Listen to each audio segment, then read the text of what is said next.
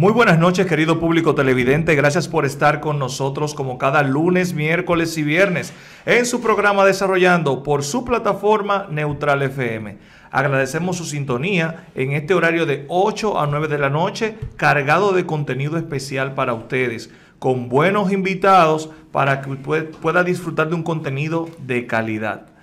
Eh, les recuerdo que nos puede seguir por las diferentes redes sociales. Recuerde que estamos por Instagram, Facebook y YouTube. Lo puedes ver en vivo por las mismas y en caso de que por X o Y se haya perdido alguno que otro programa de interés para usted, recuerde que nos pueden ver en diferido en YouTube desde el programa 1 hasta el programa del día de hoy. Así que agradecemos nuevamente la dedicación por parte de ustedes al dedicarnos este tiempo de 8 a 9. Y el día de hoy un día súper interesante eh, porque tenemos invitados muy especiales que les van a encantar.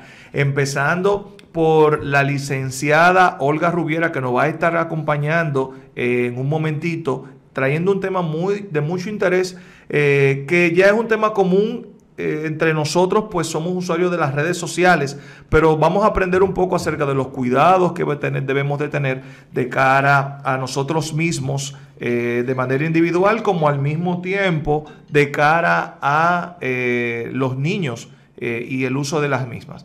Pero vamos a iniciar de inmediato dando la bienvenida a nuestro equipo de trabajo, empezando por Mark Rojas y nuestro control master Olman. Claro que sí, buenas noches, gracias querido público televidente Radio Escucha que ya conecta con nosotros como es de costumbre todos los lunes, miércoles y viernes a partir de las 8 de la noche. Gracias por su fidelidad y gracias a todas las personas que han llegado nuevas ya a nuestras redes y a nuestra familia Neutral FM. Estamos disponibles, como les decía Marcos, tanto en Instagram, Twitter, Facebook. Y mira qué curioso, Marcos. Estamos en Instagram, Twitter, Facebook, próximamente TikTok. Estamos en la más importante que YouTube. Que si usted. Tendencia TikTok. Ya lo sabe. Que si usted se perdió uno de nuestros contenidos, eh, realmente usted no lo perdió. Puede ir allá a la, a la, galería de nosotros y ahí encontrará todos los programas desde el día 1 hasta este que es el último. Y te digo que es curioso hablar de redes sociales y de que estamos en redes sociales, es porque el tema de hoy, con la invitada que tenemos eh, a continuación, que estaremos presentando, vamos a hablar sobre redes sociales. Exacto, ¿eh? exactamente. El, maravilloso mundo de las redes sociales. Exactamente, un tema muy importante, eh, tema que al mismo tiempo genera mucha controversia por situaciones que se dan en el día a día. Pero no, y te digo, y fue tanto así que en el 2020 una de la, uno de los documentales más eh, que hizo que hizo más boom, hizo más clic en todos nosotros los usuarios de, de un aparatito fue El dilema de las redes sociales, un, documental que se encuentra en Netflix que habla sobre los problemas, habla sobre la curiosidad, habla sobre cómo se mercadean las cosas mediante las redes sociales, quién te ve en las redes sociales, porque a veces uno dice, mira, pero me interesa comprar un iPhone, por, darle la cuñita al iPhone ahí y te aparecen 400 mil mensajes y, anuncios de, iPhone. Ya lo sabes, es algo increíble, pero Mark, vamos a hablar con personas que conocen del tema, eh, eh, porque nosotros realmente somos, al ser usuario, como que platicamos un ching, pero vamos a hablar con los expertos. En este caso, tenemos y nos acompaña, tenemos ese privilegio de que esté con nosotros el día de hoy. Señores, después vamos a ver cómo nosotros la conquistamos, a ver cómo se, se queda con nosotros. A la licenciada Olga Rubiera, especialista en comercio y en marketing, especialmente también en la parte de marketing digital, que es lo que eh, hoy en día se ve, se ve constantemente. Licenciada, buenas, ¿cómo se siente? Gracias, muy bien, Marco. Gracias por la invitación, Mark. Aquí estamos para hablar un poquito de lo que es las redes sociales en la actualidad algo que nos arropa a todos y que realmente ya no podemos vivir sin eso. Especialmente, especialmente. Ya la gente se vuelve loca cuando... Ah, yo he visto personas, eh, Olga, que por X o Y van al vehículo y se le olvida que dejaron el celular y se devuelven corriendo como que dejaron una, una, olla de, una olla de aceite en la estufa. A ese nivel que estamos ahora mismo, mira, pasa esto muchas veces. Tomamos el celular, lo tenemos aquí ¿Y dónde está el celular, Dios mío? ¿Y lo dónde está mi celular? Porque yo lo tenía ahora mismo. O sea, estamos tan adictos a este aparato que sin él no podemos vivir. Y no incluimos. Porque ahora mismo todo lo manejamos en las redes sociales. Y hay, y hay cuando ese pajarito se está descargando.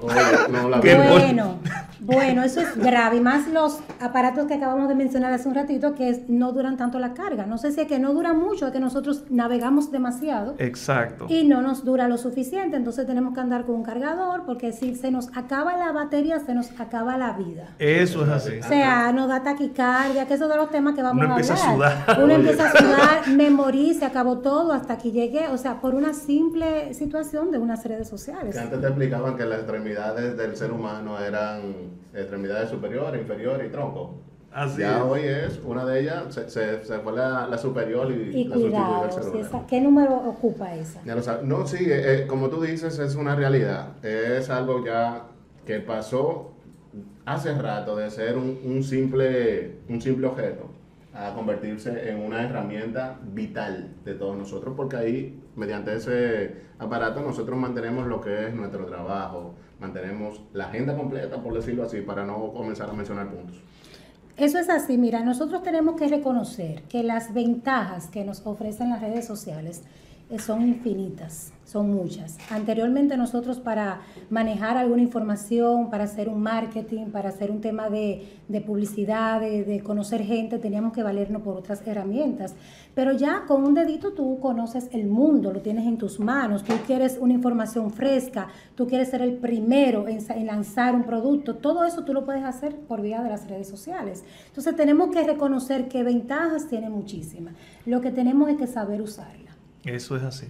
Eh, sin dejar que uno se le caiga la cédula, como menciona, acaba de mencionar Oli, es increíble, porque en, cuando yo estuve ya en la parte básica y media del colegio, para uno buscar cualquier información, uno tenía que coger para una biblioteca, un vehículo, hacer una fila, llegar a la biblioteca, anotarse, empezar a buscar en mil libros cuál era el tuyo, entonces ahí dar hoja y empezar a escribir. Ahí se, te olvidaba que tú tenías hambre y todo, tenías que llegar temprano y hasta que tú no buscaras lo que tú andabas buscando, no te iba de ahí. Había que hacer una logística para tú tener esa información. Sin embargo, ahora está a la, a la mano, a la mano. Y con este tema de las redes sociales que viven eh, compartiendo tanta información, las personas siempre se ven como eh, con contenido, digámoslo así. Mucho contenido, o sea, y la competencia, y el déjame subir yo primero esta información, quién es el primero en dar la primicia, eh, si yo tengo que levantarme en la madrugada, hay estudios que revelan que de cada cinco personas, una se levanta en la madrugada.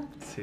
Y nos vamos a incluir, porque en la madrugada uno se levanta, déjame ir al baño, lo que sea, y, y prende la pantalla a ver qué está pasando. Y cinco es poco. A ver qué está pasando. mucho. Exacto. O sea, es solamente para ver, no es que me preocupa algo, ni hay para curios, la curiosidad me mata. Déjame ver qué está pasando, qué se está moviendo, qué se está cocinando.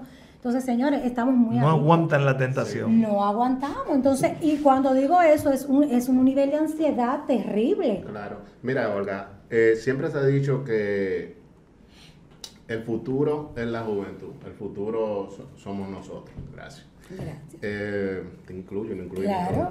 somos, somos nosotros los jóvenes, claro. Menos el señor director, que siempre, siempre el director, por joven que sea, siempre es el señor. El, señor, director. Eh, los jóvenes, las redes sociales. ¿Qué posición o qué... Hazme ese clip. Juventud, redes sociales, adolescentes. ¿Qué pasa en eso? ¿Cuáles son, ¿Cuáles son? Porque me imagino que Dentro de, esa categoría se encuentran lo que son las desventajas, las ventajas, los peligros, todo ese tipo de cosas. Totalmente, es así. ¿Qué pasa?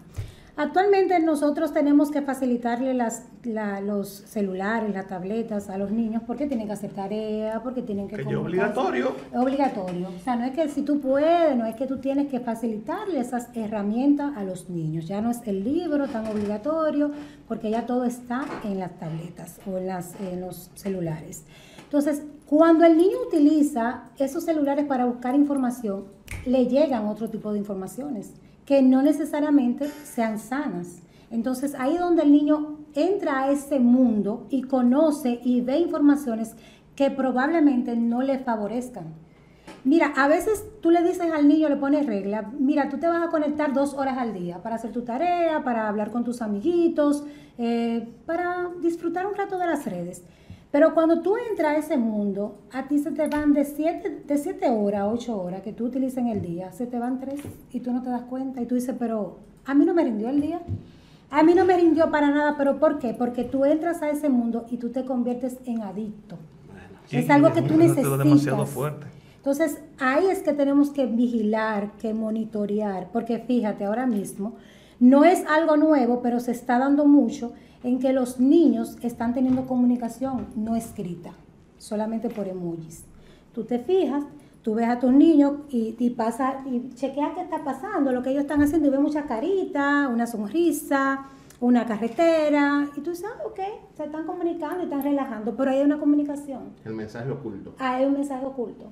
Entonces se está dando mucho eso, incluso se ha hablado que se están vendiendo eh, cosas que no están permitidas, o sea, entre los niños y eso, está habiendo un negocio delicado que tú tienes que monitorear qué está pasando con ellos. Entonces, es muy buena las redes, te aporta muchísimo, pero tú tienes que poner ciertos eh, stop en algunos momentos. Incluso para la noche, tú sabes que los niños se quedan muchas veces con las tabletas y los celulares. Le dan la una, la dos y la tres de la mañana. Eso es así. Chateando. Cuando se levanta, ¿tú crees que el niño se va a levantar contento? No se, se va a levantar de mal humor. Te va a hablar mal, no se va a concentrar. Están creando un estrés a, la juventud, a la niñez. Exactamente. Entonces tenemos que tener mucho cuidado con eso. Y mira que como bien mencionas es un reto, eh, Olga, porque, por ejemplo, como mencionaste al inicio, ahora mismo el tema con la educación y las, el uso de los celulares y tabletas y laptops es obligatorio. O sea, los muchachos ahora toman clases con celulares, toman o tienen que usar la laptop, eh, tienen que usar la, usar la tablet sin embargo, la usan en el interín que están en el colegio. Sin embargo, cuando vienen a la casa tienen que hacer la tarea. Entonces, eh, en ese sentido, ok, le vas a dejar, bien mencionaste algo muy interesante que anteriormente uno le decía al muchacho, no, mira, tú puedes durar hora y media o dos horas jugando. Pero realmente al final tú no, tú no le puedes quitar el aparato, porque en el aparato hace la tarea y en el aparato también juega, en el aparato investiga, pero tú no sabes cuándo está haciendo una o la otra. Exactamente. Entonces, mira, mira eh, ese peligro. Es difícil a veces que tú poder manejar esa parte con los niños. Crearle conciencia. En el caso mío me pasó como padre, o sea, que cada día monitorear a los hijos es un reto con el tema de las redes sociales. Y como bien mencionas ese, ese, ese lenguaje oculto que hay ahora con los emojis, imagínate cómo uno, va a saber. no, uno, uno se tiene que educar para, aprender eso. Y uno no va a estar tampoco como acusándolo el niño. ¿Con qué estás? ¿Qué estás haciendo? ¿Qué está pasando? Porque entonces también tú lo pones quizás en lo que no está. Es más bien concientizarlo, hablarle, explicarle qué, sucede en ese mundo y que traten de tener cierto control y también con los horarios. También. Exactamente. Es muy Mira, es muy interesante eso que tú mencionas de los emojis. Y recuerdo en una de las actualizaciones de, WhatsApp, una de las redes sociales que ahorita debatíamos y, y, tú nos mencionabas que era la más, la más global y tiene mucha lógica porque las redes sociales llegaron a ocupar el, el espacio de el espacio de que, ocupaba, valga la redundancia, eh, la carta escrita, eh, la, comunicación, inclusive hasta telefónica. O sea, el, WhatsApp llegó para, ocupar ese espacio. Y en una de, sus actualizaciones, yo vi que incluyeron muchos emojis que siquiera nosotros estábamos preparados para ver. Inclusive, no sé si se han dado cuenta, emojis de, por ejemplo, no critico nada, pero digo, wow, tiene que haber una concientización y, explicarle también a la niñez y, a todos a nosotros, desde grandes. Dos varoncitos con un, con un niño. Un mensaje ahí. Eh, dos eh, mujeres con un niño. Y, y, así, cosas así, que tú decías, pero ven acá, pero... Es a la franca ya que quieren... Eh, eso es un tema. eso es así. Y fíjate también cómo se ha desconectado el ser humano de la vida cotidiana. O sea, tú vas a un restaurante con la familia y todo el mundo está con la cabeza para abajo, chateando. O sea, si ponemos reglas... Ahora es más fácil por un grupo de WhatsApp que yo O sea, estamos activos en las redes. Eh, eh, él se está acabando el mundo en las redes. Pero con mi familia, que la tengo aquí... ¿Recuerdan cuando se cayó WhatsApp? Que, como decían a nivel jocoso, eh, que no nos conocíamos. Ah, pero vivimos juntos, tú y yo. Esa es tu habitación. hay un, hay un meme, hay un meme de eso, de que de que increíble, madre e hija se reencuentran después de... y, es un meme, pero es así. Eso pasa. Muchas familias llegan a su casa y cada quien coge para su habitación porque tú sabes que ahora se, se come en la habitación, se ve televisión eh, en la habitación, entonces no se ven. A veces estamos en una habitación y tú en otra, mira, eh, tráeme tal cosa, tú llegaste, tú vas a salir esto, aquello, o sea, no hay una comunicación face to face. Cuida tú que reseteaste el, el router. Ay, se cayó el internet, se cayó el internet, o sea. No, no digan nada, que un día los hijos míos se lo tuve que desconectar. Bueno, yo conozco a alguien que él tiene hora en su casa y le dicen el que no hizo tarea a las 10 de la noche, el que no chateó, el que no jugó, se lo dejó para mañana. Porque la día el internet está out. Y realmente tú lo puedes ver como que, óyeme, qué fuerte, pero es una de las formas que tú tienes a veces que utilizar. Porque, ¿tú entiendes? hay un tema. Yo vi un caso así, Olga.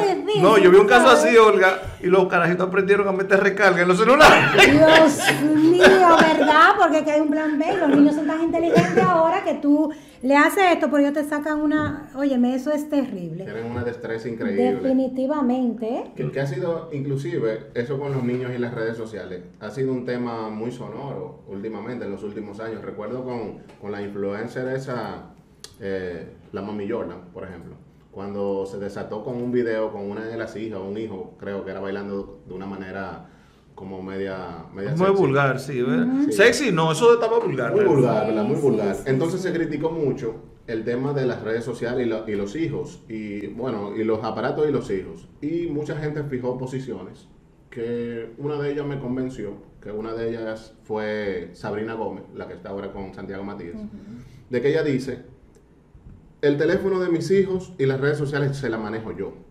Yo le tengo eh, accesos parentales, le tengo restricciones para que ellos puedan ver lo que yo diga.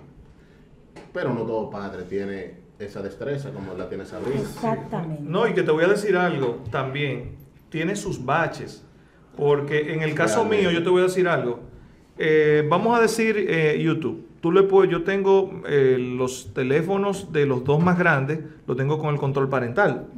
Sin embargo, sin embargo, yo tengo control parental en YouTube, el contenido de YouTube, el contenido de, las diferentes otras redes, lógicamente con la, que, a las que ellos pueden tener acceso, porque Olga, eh, te iba a preguntar casualmente de eso acerca de las edades y, la, eh, y las redes sociales en lo que se entiende que, que el niño podría eh, acceder a ellas. Porque eh, igual muchas veces controlas las aplicaciones con el control parental, pero sin embargo el muchacho te entra por el explorador del celular y por ahí te navega y te busca YouTube por el explorador y ya perdiste el, control parental. Sí, realmente. Entonces, el, eh, con respecto a ese tema, por ejemplo, estuvimos hablando de la podrían ser adiciones a la sí, a, adiciones, a, la, a las redes sociales. inclusive fuera del aire mencionaste una interesante que es la adición a los likes. Sí eh, mismo. Cuéntanos acerca de eso también. Eh. Esa batalla. Bueno, mira, eh, eso está sucediendo en todas las edades ahora mismo. Digamos que un niño a partir de los 12 años, vamos a decir, que ya empieza a ver otras informaciones y a tener una tablet o a tener un celular en sus manos, este, están en una competencia. Inclusive, esa edad sirve hasta para identificar tu identidad. Exactamente están en una competencia de quién tiene más like. ¿Qué yo debo hacer para subirlo?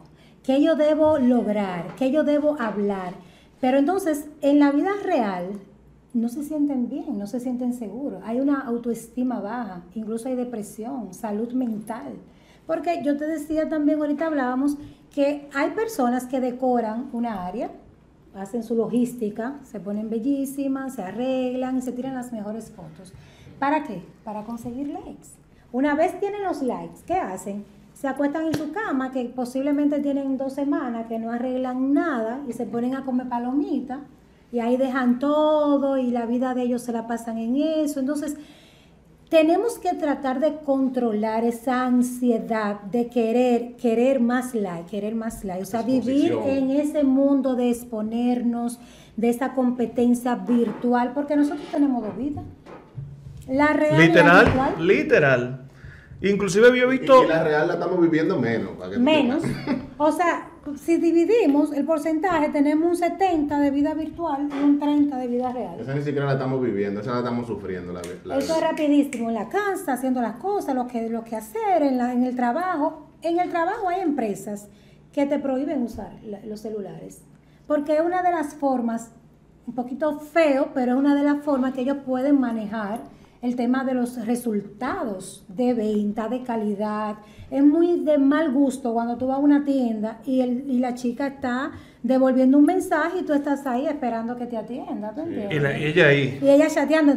como que dice, espérate tú porque esto es muy importante. ¿Tú entiendes? hay una situación abrumadora. No, y, y, también eso que mencionas acerca de, la, de las redes sociales, también. Eh, no sé eh, en la jerarquía de las redes sociales en qué nivel estará Instagram, pero por ejemplo, Instagram es una red social que a mí me, encanta, porque en Instagram todo el mundo es rico, todo el mundo es feliz, todo el mundo tiene casones, todo. el mundo tiene vehículos de lujo. algunos montajes que se hacen perfectos y fabulosos. Tú no tienes que ir de viaje. Que dice que eh, en Instagram todos somos eh, fotógrafos, en Twitter todos somos escritores, en Facebook todos somos eh, como figuras, todo eso. Eso es así. Y fíjate que yo misma pensaba que Instagram estaba en, el primer, en segundo lugar, vamos a decir, pero Facebook increíblemente se mantiene en una posición entre el uno y el segundo, entre WhatsApp y Facebook. O sea que eh, a veces uno, yo misma uso mucho Instagram. Pero, el primero ahí? ¿Eh? el dueño del... Dios mío, pero algo que está ahora en tendencia, señor, y que todo el mundo está entrando ahí es lo del TikTok. Es verdad. Todo pero no importa, o sea, es subir lo que yo, sea. No, yo, yo no tengo, yo no tengo, yo creo que yo, yo ni se recuerdo si abrí un, algún momento TikTok. No, abrí, no, pero, no puedo con tanta cosa. Pero no que si uno se va a volver loco. No, yo no puedo. No, porque entonces va a ser 100% vida virtual. Entonces no. Pero yo conozco, yo tengo una, unos, unas amistades, pero inclusive personas hasta de edad, que están en esa no, que Están haciendo, se oye feo, pero hasta llegan a hacer el ridículo, porque es que ellos quieren montarse. No, no, no es, eso, es la realidad. El baile de Anita ahora. El bailecito de Anita, que tú ah, te tiras en el suelo, o sea, ahí está todo el mundo. ahí está todo el mundo desguabinándose en el piso. Todo el mundo haciendo, llamando la atención, no importa si está bien, si está mal, si soy casada. Sí, o sea, no hay un respeto. Tú pero yo veo a Doña Lola en una cosa así. Es una cosa de. ¿Tú te imaginas tú encontrarte con tu mamá en un video y ella ahí dándolo todo? Jesús dándolo todo, entonces tú también tienes que cuidar a tus hijos. Al asilo temprano. Parental control para los padres también que se pongan Señores, vamos, vamos, vamos a ubicarnos en el tiempo, vamos a ser realistas, vamos a, priorizar, vamos a atender un poquito las casas, vamos a atender un poquito a la familia, vamos a interactuar más, vamos a dedicar un tiempo a la vida social real, porque la vida que estamos llevando la mayoría de veces es vendiendo una imagen, vendiendo algo que no es. Entonces tenemos que aterrizar porque si no, este mundo no va a comer. Eso es así. No va a comer definitivamente. o sea, más allá de, del entretenimiento, porque las redes sociales te ofrecen mucho entretenimiento. Si tú vas y buscas, eh, o sea, e, es una fuente y tú y te, y te sirve lo que tú quieres. Si tú quieres maldad, encontrarás maldad. Si tú encuentras cosas buenas, tú encontrarás cosas buenas. Pero la preocupación nuestra y es de todos, es enfocado más a la juventud, a, ese usuario entre, qué sé yo, entre 12 y 27 años, de una juventud que ahora mismo no tiene una identidad propia, que va buscando una identidad dentro de las redes sociales. el muñeco, exacto. Entonces, eh, se han colocado ahora, que es de tendencia también, los famosos influencers, de que se van por ahí. O sea, esta línea, eso es lo que hace este influencer, todos nos vamos por ahí. Exacto. Inclusive muchos de ellos, no inclusive, sino es una realidad, de que muchos de ellos lo que ofrecen son cosas que no, que no aportan nada. Que no aportan nada. Esa misma que yo acabo de mencionar. Y, ahorita me gano yo 400 videos si me ve, la mami Jordan. Pero es un influencer con muchísimos likes, con muchísimos views y no te aporta nada positivo. Sí, fíjate que a veces y tiene una recua de carajito sí, que la y tú haces un análisis y tú te pasas tres horas del día por ser tímida con los números, tres horas del día en las redes. Y si tú te fijas, hay un porcentaje de personas que no han sacado ningún resultado positivo de lo que buscan. Eso es así. Tú dices al final del día, ok, yo chateé, yo navegué, yo busqué, ¿y qué, aprendí? ¿Con qué me quedé? Tú tienes en WhatsApp tres grupos. Hay uno de vender ropa, hay uno de, de, de qué, de, de evento, hay uno de chistes. El de los vecinos. el de, lo, de la el de los vecinos, exactamente. Está pasando el camión de la basura, señores. Entonces, esas son cosas que no te aportan mucho, ¿tú entiendes? Entonces, en, tu top 10 de, de, de la primera 10 conversaciones son 7 grupos y 3 contactos. ¿Entiendes? Literal. Entonces tú tienes que priorizar porque te dejas arropar. Fíjate que ya la mayoría de personas, incluyéndome, no nos gusta escribir. En una hoja no nos gusta escribir. Y a veces tú le preguntas a alguien, mira, ¿cómo se escribe tal cosa? No sí, me acuerdo. Eso así. Porque como el celular me corrige, me lo escribe con el dedito. Tú ya nadie se preocupa por nada de eso. Escribir. ¿Tú te imaginas que tú vayas a una entrevista y te hagan ciertas evaluaciones escritas? ¿Qué va a pasar? Bueno, y que te quiten el celular y que tú tengas que dar una información, ¿cómo tú la vas a buscar? Señores, tenemos que leer un poquito. Yo, yo los otros días me, sentí que sí se me cayó la cédula y me sentía tan mal en un grupo de jóvenes que conversábamos y yo le decía que yo en, en tres ocasiones llegué a participar en premios nacionales por el cuento. Yo, muy bueno escribiendo y todo eso. Y ellos me decían, pero eso no se hace ya. Y se escribe. ¿Y quién, y quién pierde su tiempo escribiendo? No entiende. qué fuerte. Qué mal, qué, mal hago? Entonces a veces la sociedad te obliga a montarte ahí. Porque eso es una presión. Tú mismo, tú, tú dijiste, y entonces, o sea, yo soy el único estoy desfasado. Y estoy desfasado, estoy atrás, tengo que montarme en esto, en, el, en la vida virtual, el, chateo y la cosa, entonces tenemos que revisar. Eso es así. Olga, definitivamente un tema súper amplio, mucho contenido eh, voy a, me voy a tomar la libertad de comprometerte, Olga, para otro próximo programa, porque de verdad que queremos seguir tratando este, este, tipo de temas que son de mucho interés para todo el mundo. En especial porque eh, lo tratamos de una forma... Eh, vamos a decir, light, de una forma tranquila, una forma hasta cierto punto jocosa, pero realmente hay muchos problemas tras el mal uso de las redes sociales.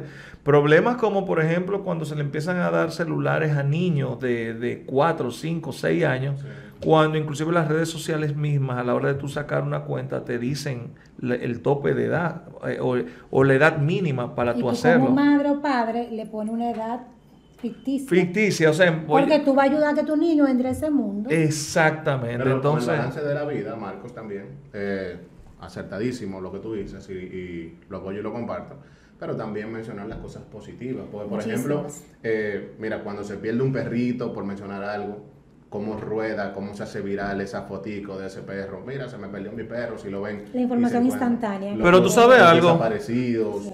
Oye. Sí, sí, sí, pero tú sabes algo. A veces. Es una fuente. las redes sociales y, el internet, eh, eh, ya como, como global, así, es una fuente. Sí, y te ofrece lo que tú buscas. Tú sabes que a mí a veces me mandan fotos de esa y ya yo ni la veo.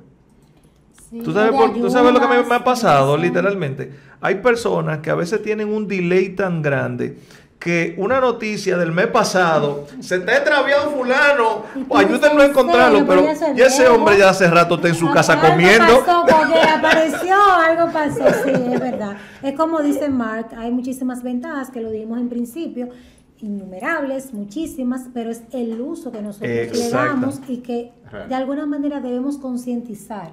El tema de tu poner mucho control y que yo como yo voy a manejar lo que tú vas a ver y eso, es como tú decías, Marco, ellos buscan estrategias. Buscan las estrategias. Tú le ves con el internet, compras una recarga. Entonces, es una cosa terrible. Entonces, yo entiendo desde mi punto de vista que es mejor concientizar. Eso es así, totalmente de acuerdo. Eh, Olga, no te voy a pedir tu respuesta porque espero que sea así. Así que te, comprometemos de verdad eh, en línea y agradecemos también a todo ese público que nos ha seguido en esta primera parte del programa del día de hoy por desarrollar. A propósito de las redes. ¿Eh? A propósito de las redes. Ah, exactamente. Estamos en todas las redes. Una pregunta, Olga. Por ejemplo, el que quiera estar en contacto, por ejemplo, contigo tener información acerca de, esta, de todos estos temas, ¿dónde se puede, cuáles son tus redes para que el que te quiera seguir, no sé si las tienes ya hábiles o estás trabajando en ellas? Ahora mismo ustedes me pueden seguir en arroba Olga Cepeda, me pueden seguir por ahí, yo no tengo nada que ocultar, yo no subo nada que me preocupe, me pueden escribir por ahí, mi número es 809 805-3003, cualquier consulta, cualquier pregunta, podemos interactuar. Aquí no estamos descubriendo el agua. Exacto. Aquí no somos gurú, aquí estamos hablando de temas que todo el mundo domina, pero que muchas veces olvidamos algunos puntos que son importantes y cruciales para minimizar esta adicción. Exacto, recordando también que... Tú perteneces ya a la familia, porque tú acabas de decir algo que nosotros usualmente usamos acá, de que nosotros no somos expertos. Nosotros no tenemos eh, el MBA, nosotros no tenemos eh, el Magister en, en, periodismo, en todo aquello. Pero siempre tratamos acá, que por ejemplo es lo que estamos haciendo ahora mismo, eh, debatimos sobre temas que nosotros no tenemos la gran verdad, pero sí tratamos de ser objetivos con lo que decimos y con lo que hacemos aquí. Así es. Así que gracias por estar ustedes con nosotros en esta primera parte del programa del día de hoy. Y no se mueva porque todavía hay más contenido y siga con nosotros en su programa Desarrollando.